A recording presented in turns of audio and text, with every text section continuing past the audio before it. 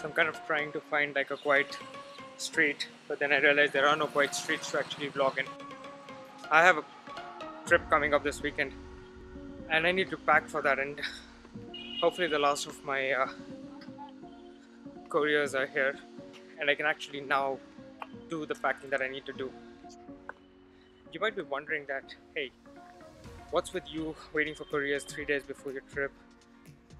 What's so special about it? But I'll tell you, it's it's it's you know, it's this thing that I have crazy ideas, and I'll show talk to you about it in a minute. And uh, when I get this crazy idea,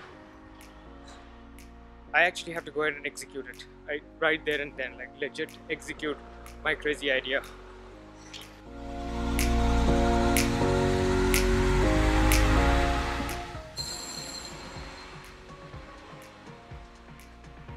I'm trying to desperately navigate through this footpath. It's like an obstacle course. Yeah, you got bikes over here too. Okay, so this is a fairly quiet road to walk on. So, crazy ideas. See, I have this system where I pack my clothes in my uh, check-in baggage exactly the way I want it. You know, essentials on one side, shoes on one side,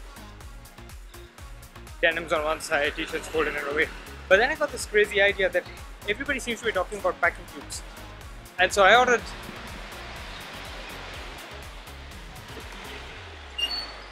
see what I have to deal with.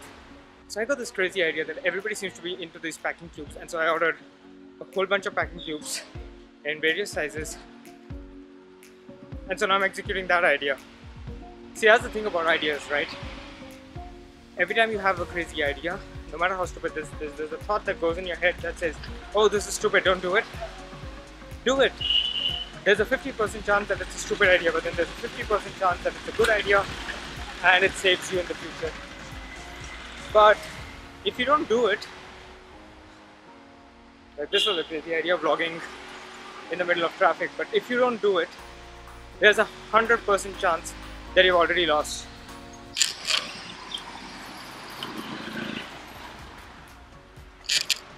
Have freaking barbed sticking to my shoes. This is worse than an obstacle course. There's nothing stupid about an idea. You might fail. That's okay. There's some money spent. But if, if you succeed, you have a system now. Just like I'm going to go and figure out if there's a system in place for me to use travel cubes. Um, don't hold yourself back. If you think that something is worth doing it, do it. That's super safe. Okay, so back home and uh, essentially this is what I'm talking about.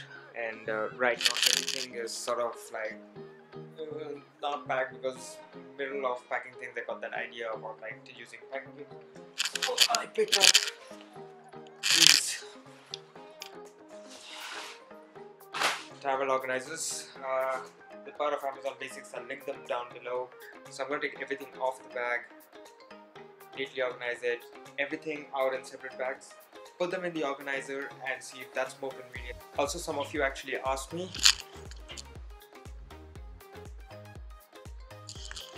still pretty strong, it, it hasn't collapsed as yet.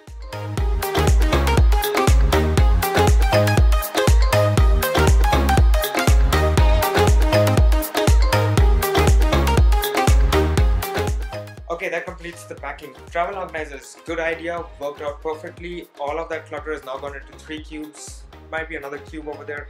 I've got one. Let's see if I can bump the ISO up a little bit. Yeah.